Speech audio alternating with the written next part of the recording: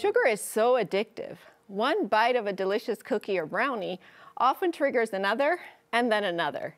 But understanding why sugar can be so addictive can really help us to combat that addiction. So when we consume sugar, it triggers a release of dopamine, which is a neurotransmitter associated with pleasure and reward in the brain. This is similar to how addictive substances like drugs or alcohol can trigger the brain's reward system. Now, over time, the brain may actually become accustomed to the spike in dopamine, leading to cravings for more sugar that achieve that same feeling of reward.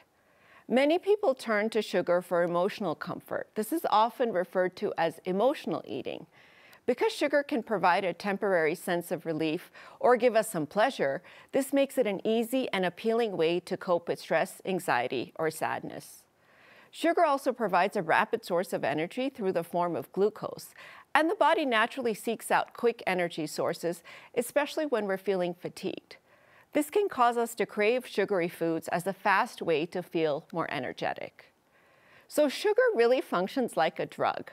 There's tolerance over time. You need more and more to get the same effect, and you actually have withdrawal symptoms like irritability and fatigue when you don't get it.